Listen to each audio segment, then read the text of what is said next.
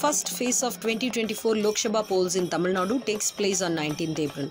Let's go through the list of important star candidates from Tamil Nadu. Kanimozhi Karunanidhi. DMK Deputy General Secretary Kanimozhi Karunanidhi is contesting from Tuticorin constituency for the second time. In 2019, she won against BJP leader Tamilisai Soundarajan with a margin of over 3 lakh votes. In her campaign, she has criticized the BJP for favoring the reopening of the Sterlite copper unit that the DMK had shut down.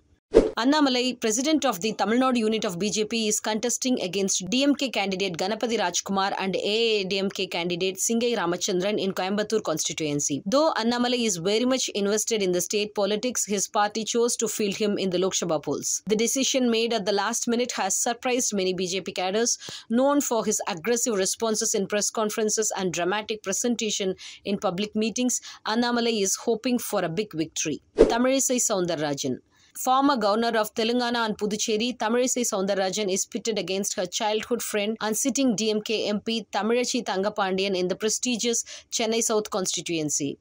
Tamilisai announced her resignation from governor's post to get back into electoral politics. Though Tamilisai faced a defeat in Tuticorin in 2019, she seems quite confident about her fight from the constituency that has been her home for more than 40 years. DMK's Tamilachi Tangapandian is a sitting MP of Chennai South constituency. She is contesting this seat for the second time. She has criticized the union government's failure to provide relief funds for the 2023 floods in Chennai and uh, she has promised to bring in railway service from Chennai Perungudi to Cuddalore via Mahabalipuram in her second innings. Radhika Sharath Kumar. Popular exterior actor Radhika Sharath Kumar is contesting the Lok Sabha polls on a BJP ticket.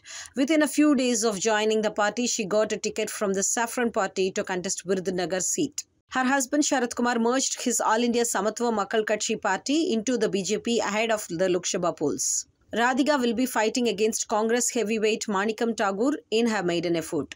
Dayanidhi Maran, Chennai Central. Dayanidhi Maran is contesting from the Chennai Central constituency for the fifth time in a row. Maran tasted victory in 2004, 2009 and 2019 and was defeated only once in 2014. In 2009, he won with a big margin of over 3 lakh votes. Though his attendance was over 70% in the parliament sessions, he took part only in 20% of debates, whereas the state average was 52%. Senior DMK leader A. Raja is contesting from Nilgiri seat for the fourth consecutive time. He has been a parliamentarian since 1996. Known for his fiery oratorical skills, Raja raised over 270 questions in parliament in his last innings. He is facing off BJP leader L. Murugan in Nilgiris this time.